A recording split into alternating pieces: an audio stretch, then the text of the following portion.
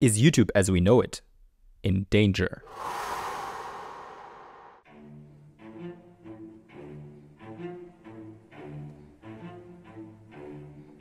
This is MrBeast's 1 vs 1 million dollar plane ticket video. A video carefully crafted, prepared and executed. The video became the winner that ended up being created while a hundred other ideas got tossed in the bin. An attempt in pressing Command C on the keyboard, but when he pressed Command V, the copy turned out to be cheap and insignificant.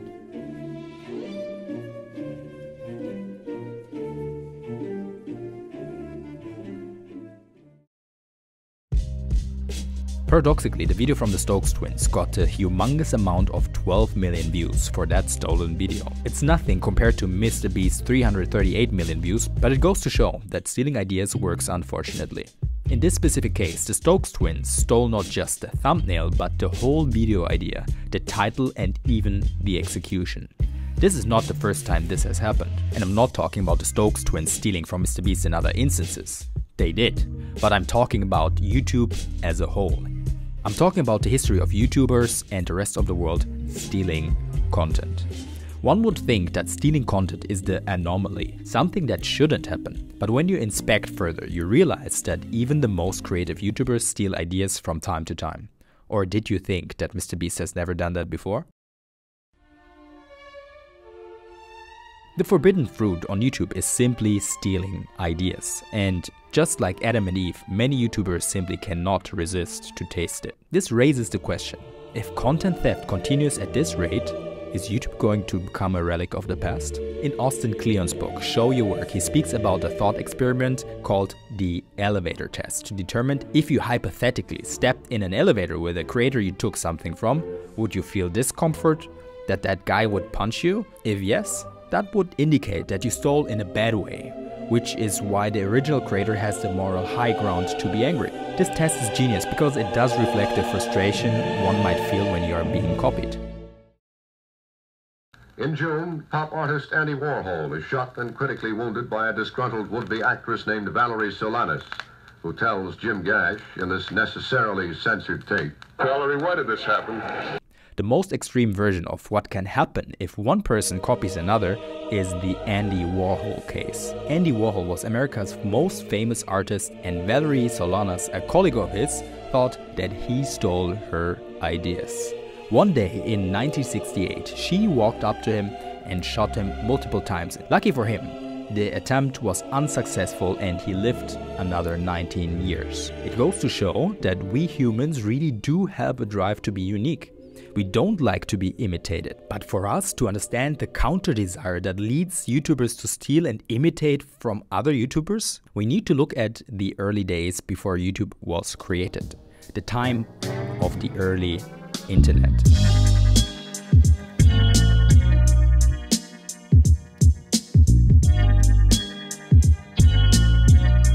In the 1990s, YouTube was at least 10 to 15 years away before it would be created, but in this time, online communities, forums and video sharing platforms would emerge. Smart people at the time could already read between the lines that there is a general desire for people to copy and distribute intellectual property. That's why the internet's earliest manifestation of copy culture became reality. Napster became the place where you would download music for free and the music industry did not like it.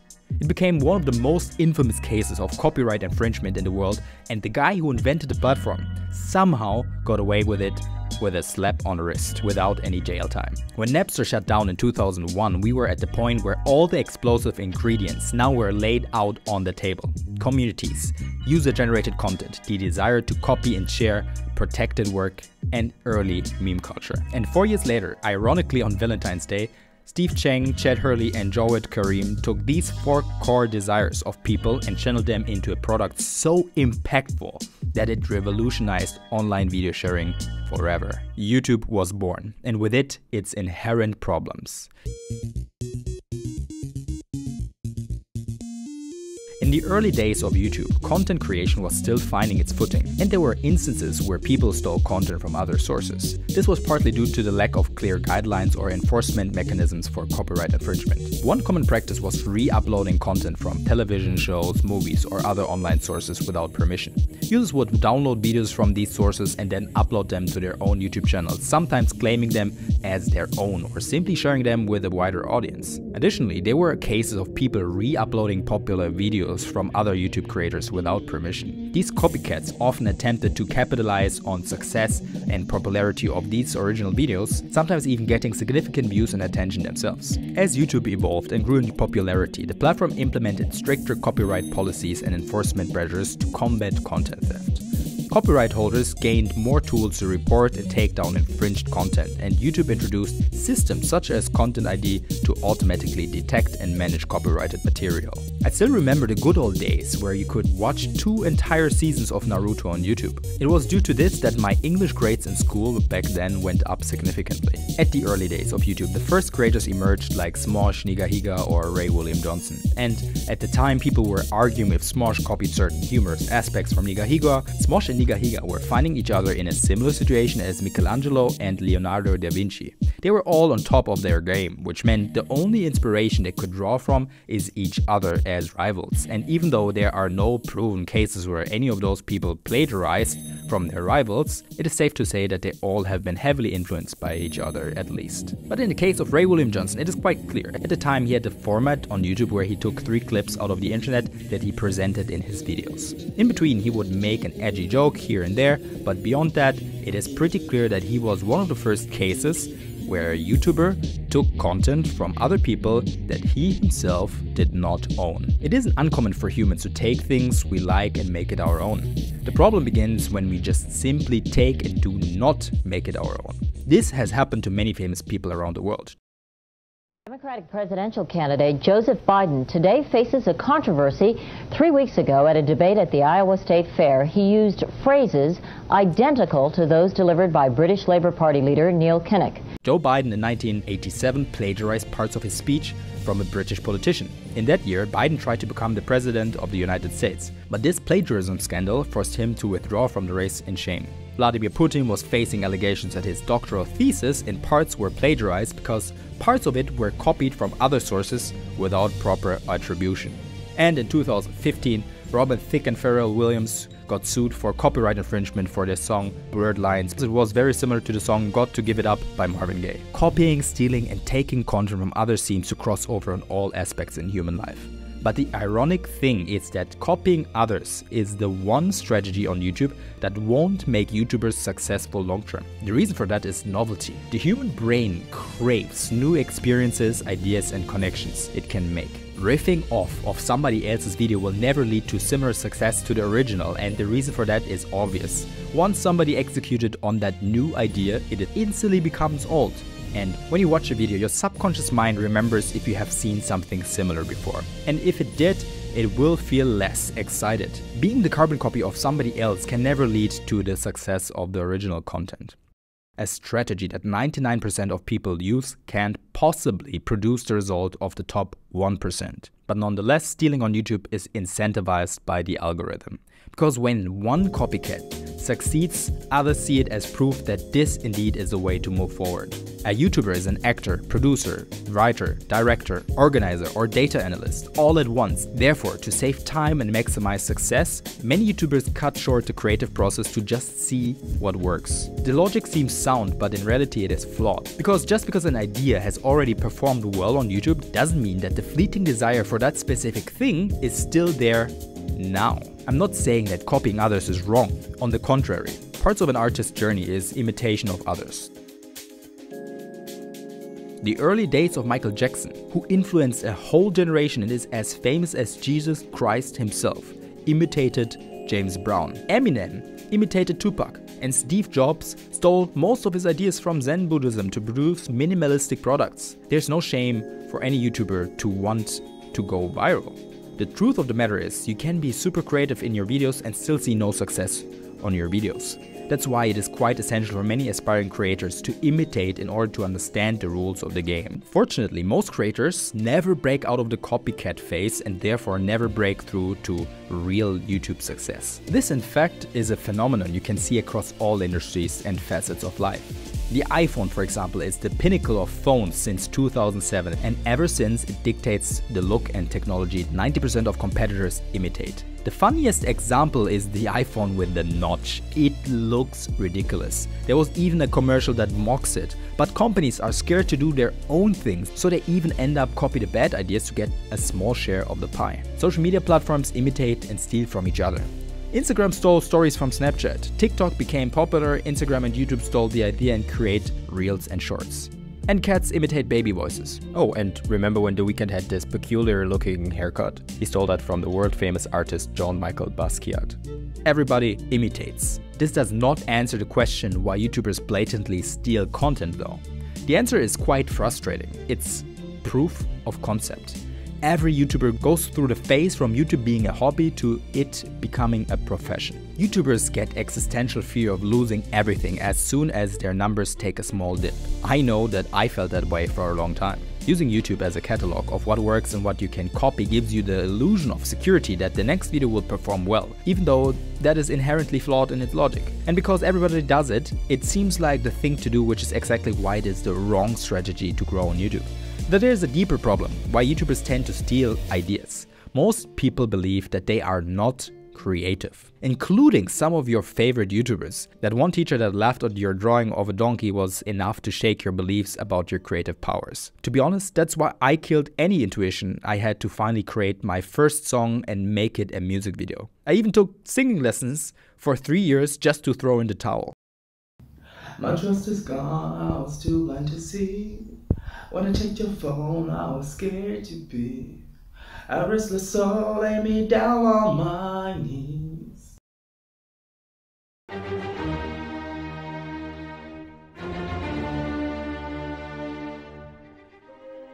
Another problem everybody faces is starting from a blank canvas. Paradoxically, if I told you to draw me something creative on paper, you would hesitate, and the challenge seems so much bigger than if I restricted your options and said, Draw a pink star that looks goofy. Boom. Patrick. Anyone who has ever created something has stood in front of a central question that haunts any creative endeavor. Where do you draw the line between inspiration and theft? And do truly original videos on YouTube actually exist? Think about it this way. The only reason somebody calls something truly creative is when they don't know the components or sources that they drew from. So as long as the final video has no similarity to something else, it's creative? As you can see, the definition is deeply flawed.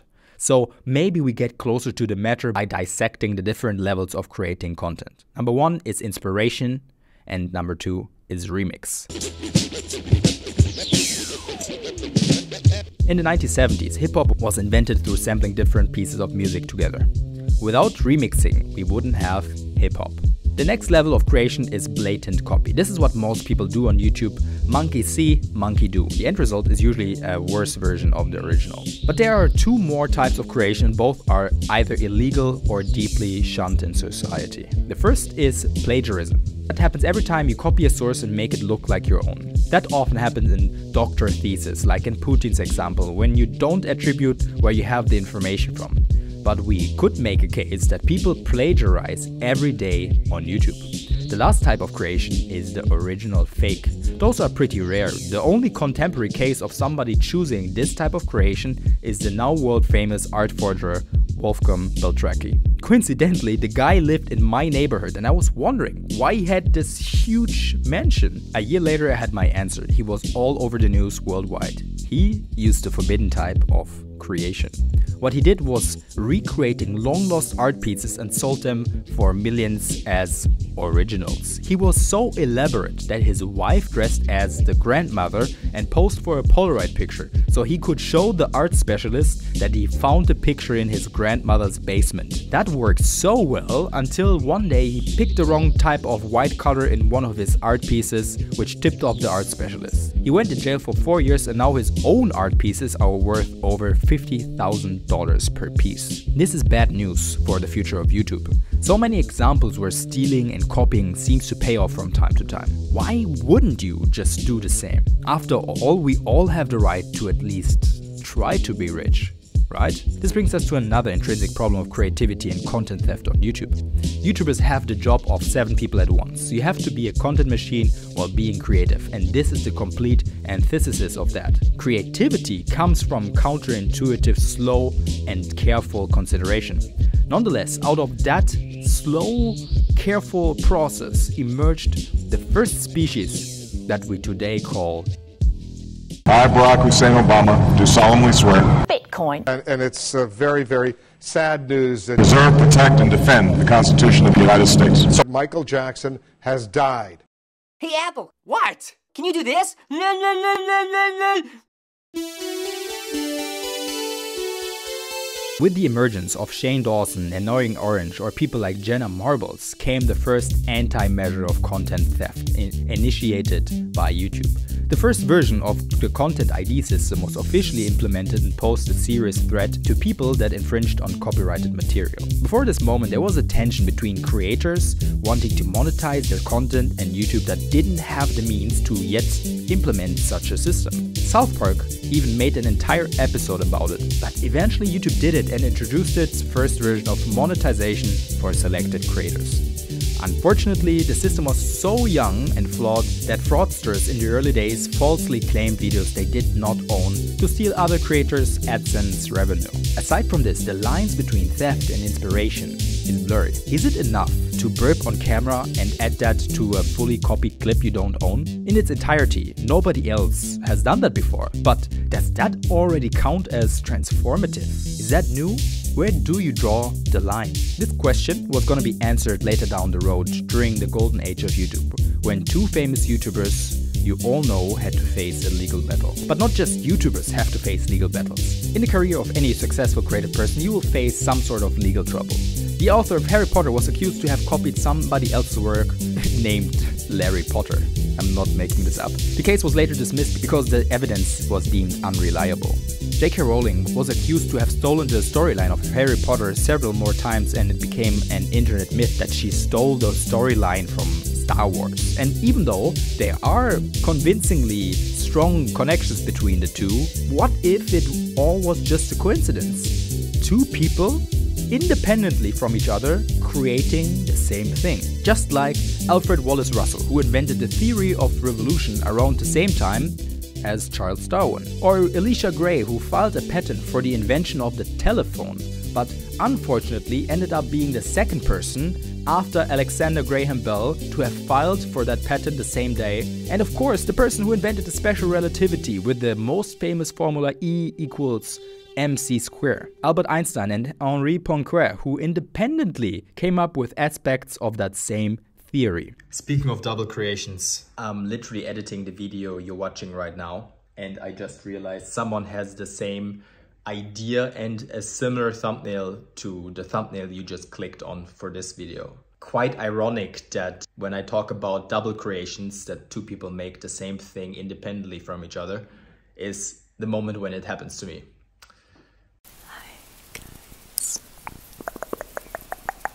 And one of the coincidences where multiple people at once came up with the same idea on YouTube are ASMR videos. It is astounding that at the same time, multiple people thought whispering into microphones as a core part of their content has a broad appeal. Around the same time, reaction channels emerged, although their attribution is much more clear.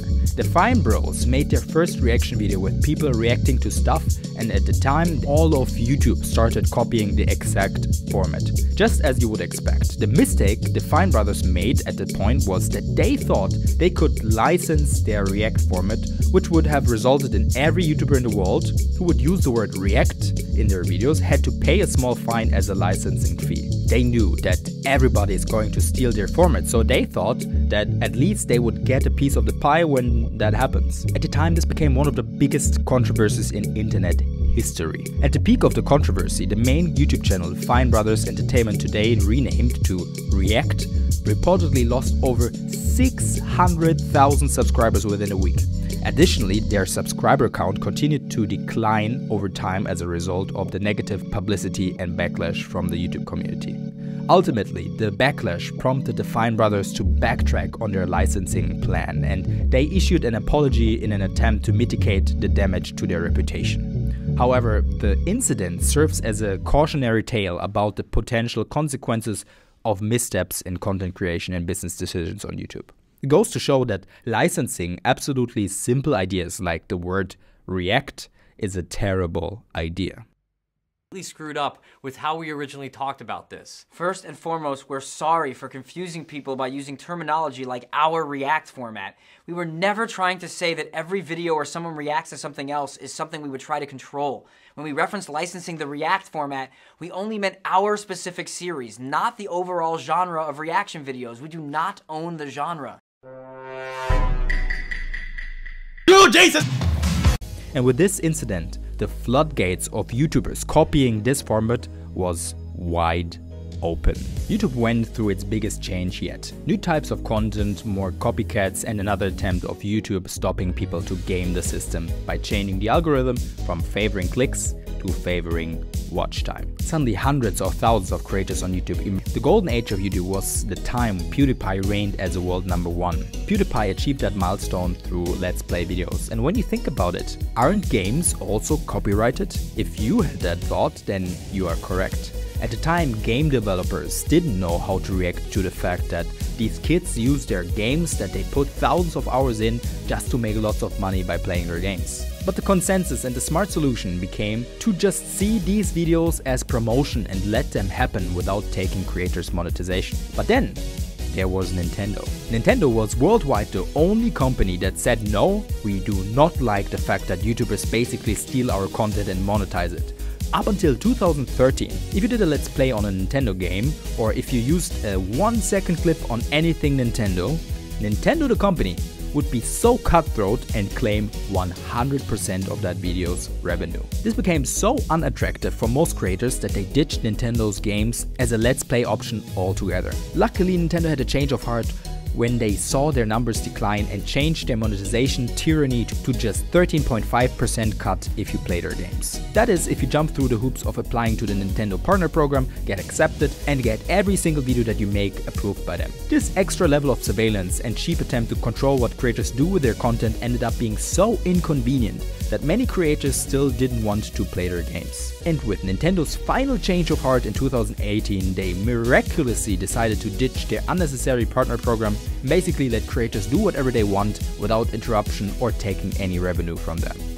Unfortunately, Nintendo at this point was still very strict about people making fan projects. To them, if you make a fan-made Pokemon game, you stole their content and therefore have to pay millions. But who knows, maybe one day they come to realize that this too is a mistake. And with that, the last opposing force that tried to stop Let's Play YouTubers from stealing gaming content has fallen. Let's Play YouTubers from this point on could do and play whatever they want. The image of the screaming boy with a microphone in their face became an image intimately linked to the idea what a YouTuber represents.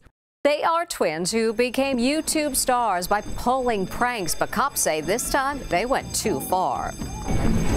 This prank is backfiring badly for these two brothers. Now 23 year old twins, Alan and Alex Stokes, are facing criminal charges. Around this time, YouTube was the wild wild west and questionable pranks were dominating the platform. This raises the question, is it okay to film people without their knowledge and upload them to YouTube? That sounds a lot like a new form of emerging theft to me. Let's just call it privacy theft. During this wild phase of YouTube, meme culture established itself as the main language of the internet. Oftentimes, memes are screenshots from movies or TV shows, and this, unfortunately, is where we are in content theft territory again. But one might argue that meme culture is an inherent function of our society.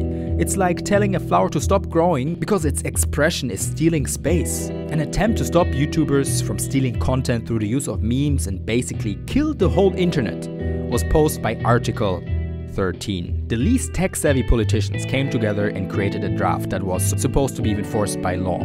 That, in summary, makes everybody being liable for everything. YouTube would be liable for its creators' uploads, therefore, YouTube needs to implement upload filters.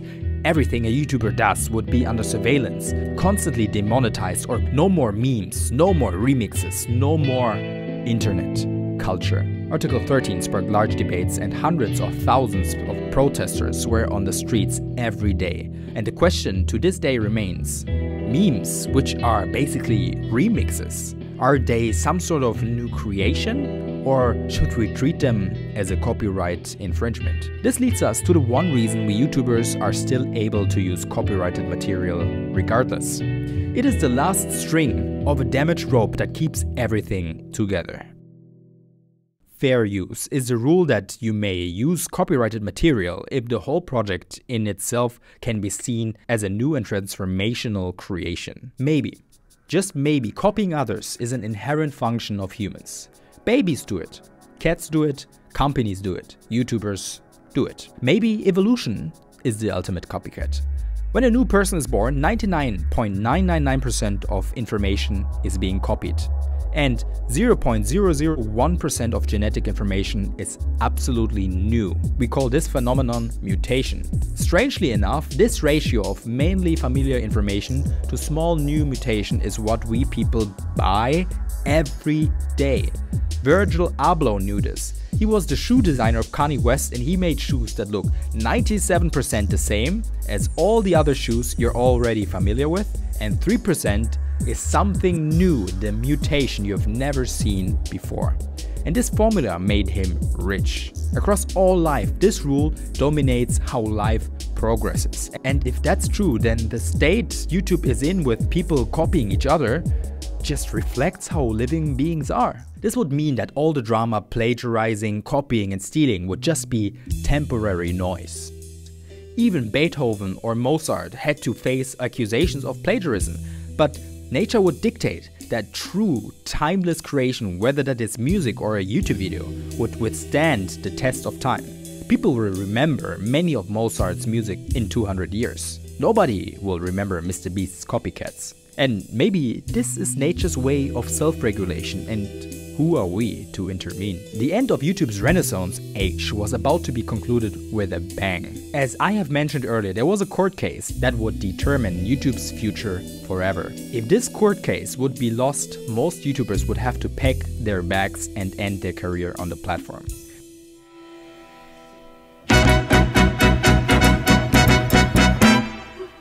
It was just like CringeTube. H3H3 made a video in which they would react to Matt Hoss Parkour Guy versus Parkour Girl video. They were taking him apart for making a cringe video that was so out of touch that it gained, rightfully so, quite a lot of attention. His reaction to that was to sue them for copyright infringement. And with that, all of YouTube's future was on the line. With many backs and forths and a lengthy legal battle, the case was ultimately decided in favor of H3H3. The court ruled that their video constituted fair use and dismissed Matt Hoss' copyright infringement claims. The case became significant within the YouTube community as it set a precedent for the application of fair use in online content creation and commentary. And this meant that the last frontier of reaction channels and commentary channels was now defeated. And with that, we have entered the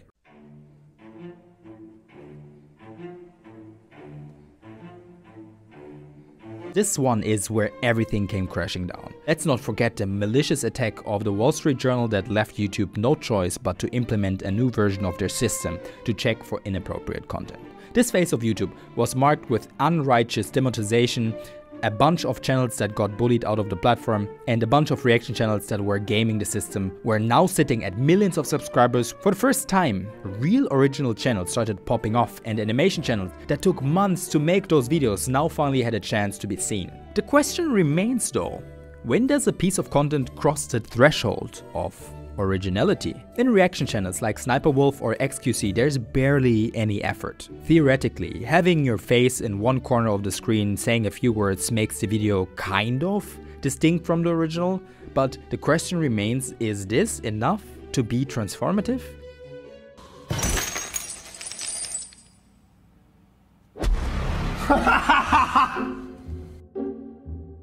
Thanks to the H3H3 case, these reaction channels are safe for now, but the question remains for how long? It is obvious that many people are starting to wake up to the fact that many of these reaction channels are lazy and blatantly steal other people's content. They start to understand that many low effort reaction channels simply exist to farm views of other people's content.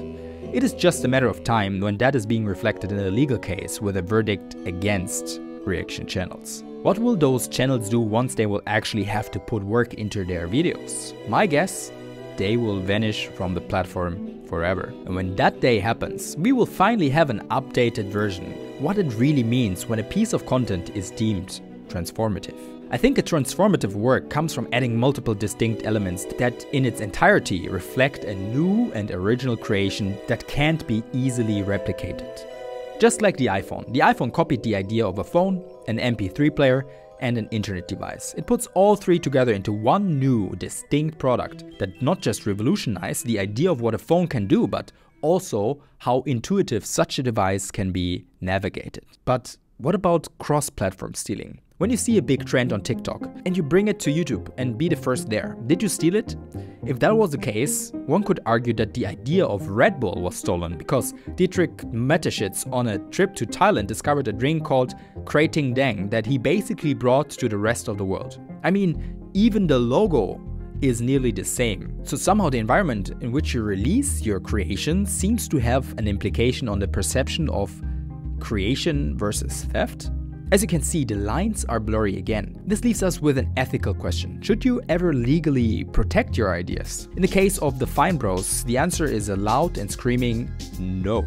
But good creations, whether that is a YouTube video or a new invention, inspires and creates new art and inventions. That's why Elon Musk did not patent most of his significant inventions. It would have stifled further development of humanity. And with that in mind, maybe all ideas should be fully legally available for anyone. Because after all, it is human nature for people to copy and imitate things they like. And with this understanding of content theft, we have arrived at the modern age of YouTube.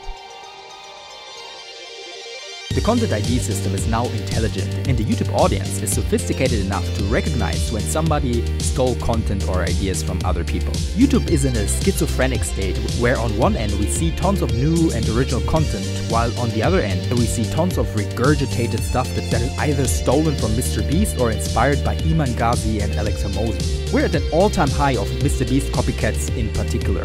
We have channels like Stokes Twins that have multiple videos copied by him, Morgz, or the Russian channel A4 who blatantly said on Twitter after copying everything from MrBeast that he does it better. But even MrBeast draws his inspiration from other creators. Look, this one is clearly inspired by Mark Rober. No matter where you draw the line, everyone does it. Eventually, all the MrBeast copycats will move on and start copying the next big YouTube star, and maybe that's okay. But there's also a completely new way YouTubers are stealing or plagiarizing content, and I haven't seen anybody voicing this perspective. Have you ever had that nagging feeling something's just not quite right?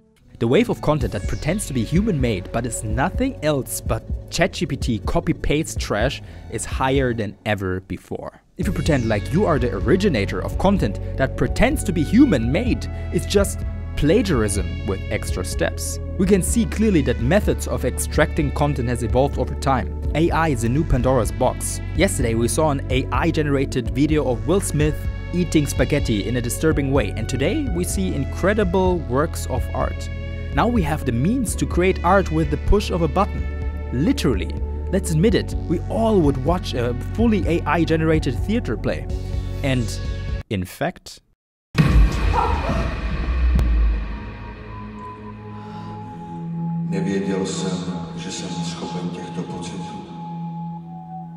It has already happened. AI, when a robot writes a play, is one of the first theatrical experiments in the world conducted by the Czech theater company Studio Hirindu. In this project, an AI algorithm was used to generate dialogues and scenes based on input data from various sources, including plays, literature, and, and as interesting as it sounds for a one-time experience. Once you have seen it, Would you always want to see AI generated content if you knew that a machine has created it? The future of YouTube is going to be interesting to say the least. YouTube lives to fight for another day. The desire for personal gain will make creators more sophisticated to game the system over and over again. The latest way to plagiarize content is the use of AI generated content pretending to be human made. And I personally think this will be YouTube's biggest battle yet.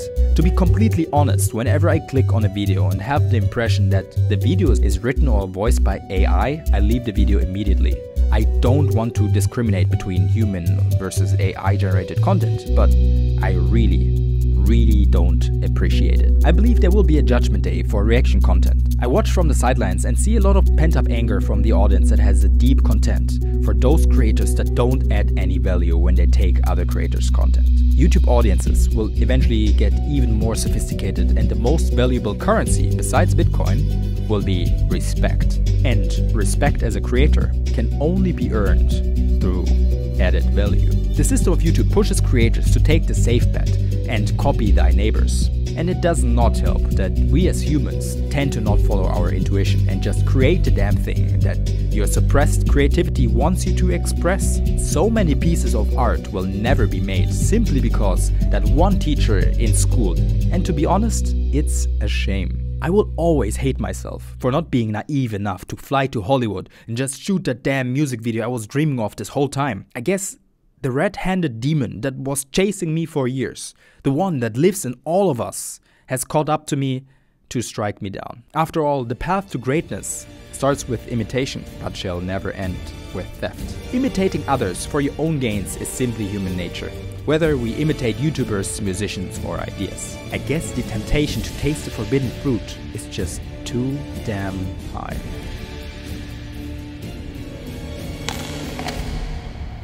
Or maybe you should just get the fuck up, follow your intuition, and finally create the damn thing you've been dreaming of this whole time.